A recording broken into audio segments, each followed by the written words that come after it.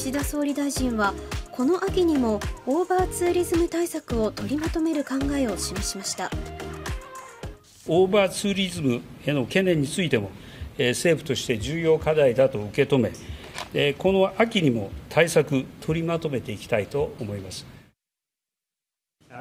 岸田総理は沖縄県を訪問し観光業の関係者と意見交換を行いましたインバウンドの拡大に向けて環境整備を進める考えを示した上で観光客の増加で住民生活や自然環境などに悪影響を与えないための対策を具体化させる方針を示しました。